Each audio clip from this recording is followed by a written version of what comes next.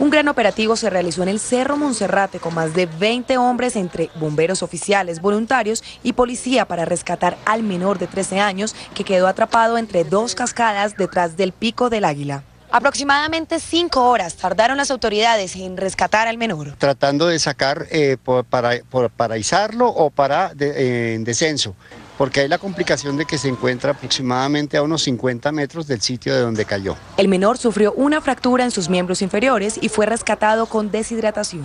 El paciente está estable, que sí tiene algo de traumas, que es muy lógico y muy normal por el sitio donde se encontraba. Según los visitantes del Cerro Monserrate, el domingo hubo mucha gente en el sitio y faltó vigilancia de las autoridades. Muchísima gente no, no podíamos ni caminar por el sendero, sino tocaba por, por los lados, por, por los lados de la montaña. Y no, pues poca policía y, defensa civil y eso.